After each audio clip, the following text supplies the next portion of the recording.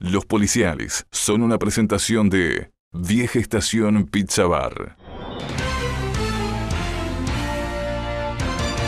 Personas heridas por arma blanca, próximo a la hora 18 del sábado, momentos en que los jóvenes JIRG uruguayo de 24 y PJLF uruguayo de 25 se encontraban en su domicilio emplazado en barrio Cerro del Estado, observan que tres individuos dañaban a una moto propiedad del segundo nombrado y al salir a ver lo que sucedía, los hombres los agreden físicamente y los atacan con armas blancas lesionándolos.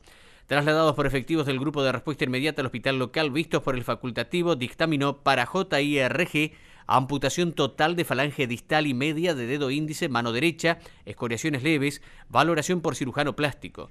Para PJLF, golpiza, herida cortante frontal derecha. Trabajan en el hecho efectivos de seccional novena. Incendio de vehículo. Próximo a la hora 2.20 del domingo, efectivos de seccional novena y bomberos acuden a una finca emplazada en calle Grito de Asensio, donde tomaba fuego el auto Chevrolet modelo Monza, Sofocando el foco ígneo, sufriendo pérdidas totales el vehículo, se pudo establecer por personal idóneo que el mismo había sido provocado intencionalmente. Se investiga.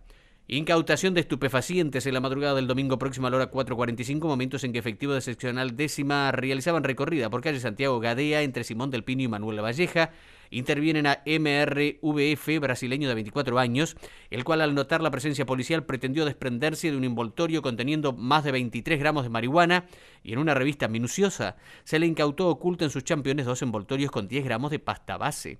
De lo ocurrido enterado el magistrado dispuso queda emplazado sin fecha, la sustancia queda incautada para destrucción.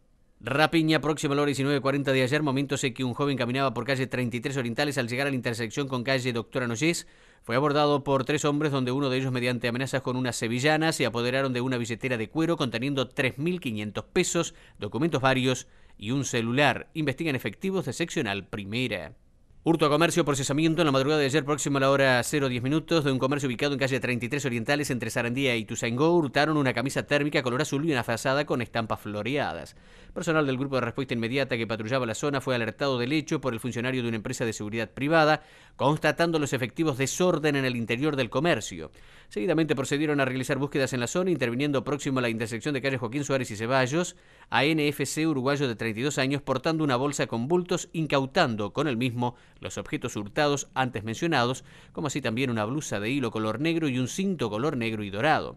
Manifestó el individuo haber hurtado los objetos en el comercio de 33 Orientales y en otro comercio ubicado en Joaquín Suárez Casi Ceballos. Pudo establecer que el mismo es poseedor de varios antecedentes penales, el cual fue conducido a la seccional primera junto a los efectos incautados.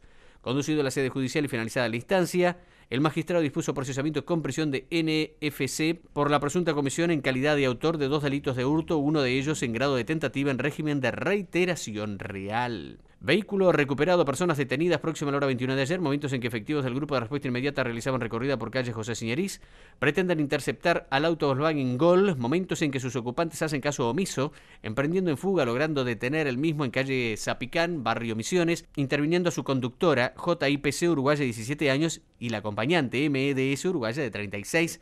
Practicadas las averiguaciones tendientes al esclarecimiento del hecho, se pudo establecer que dicho vehículo poseía requisitoria por hurto en la vecina ciudad de Libramento, Brasil. De lo ocurrido enterado el magistrado dispuso emplazarla a MEDS para la jornada. Posteriormente queda a disposición de la policía brasileña para la averiguación del hurto del vehículo. La menor permanezca en dependencias del INAU con custodia policial por ser hogar de amparo y conducirla a la sede. Se estará ampliando. En materia de información policial es todo hasta el momento.